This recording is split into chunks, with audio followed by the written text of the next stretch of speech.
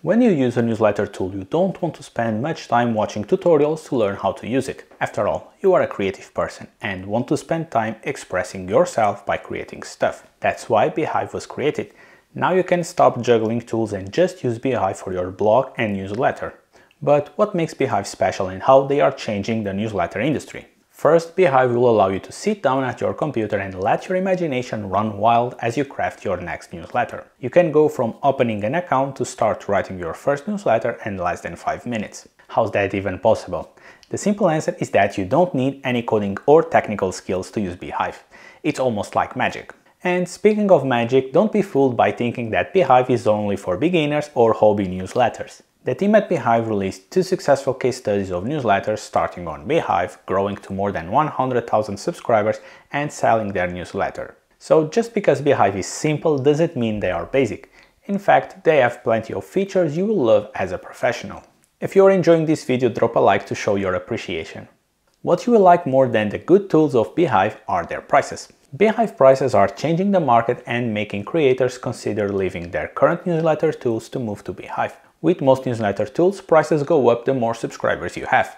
But on Beehiiv it's different. There are three plans and their prices are fixed. This makes Beehiiv cheaper than competitors if you have over 10,000 subscribers. In fact, Beehiiv could raise their prices by 25% and still be cheaper than the competition. That's what I call a good deal. But better than saving money is earning money. And on Beehiiv they put a lot of effort into allowing you to earn money with your creations in two ways. Charging memberships for newsletter access is the standard we know from other tools like Substack. But the best part is earning extra money without doing extra work. This is possible with Beehiiv's advertisement network. Here they connect creators with advertisers inside the platform to facilitate sponsorships. Besides all this good stuff, later in the video I will address that not everything is sunshine and rainbows with Beehiiv. But continuing to address the good stuff, Beehiiv allows you to make as much money as you want without worrying about the platform bullying you into giving them money. Let's admit it, nobody likes to pay fees. It stinks when you work hard to earn money just to have the platform take 5 to 10% away from you. This doesn't feel right to me. And on Beehiiv this won't happen. I repeat, Beehiiv will not take a percentage from your revenue. It sounds like Substack should learn a thing or two from Beehiiv. Now, moving to customization, here I have mixed feelings about Beehiiv. First, when you are looking at email aesthetics, you will feel like a kid playing in an airplane cockpit with so many buttons to press. This gives complete freedom to make your newsletter unique while still feeling easy to use. But on the other side, the website aspect of Beehiiv looks boring. The theme options are limiting and they look unoriginal and almost like a copy of Substack. I expect Beehiiv to release more website themes really soon as I see this as the biggest weakness.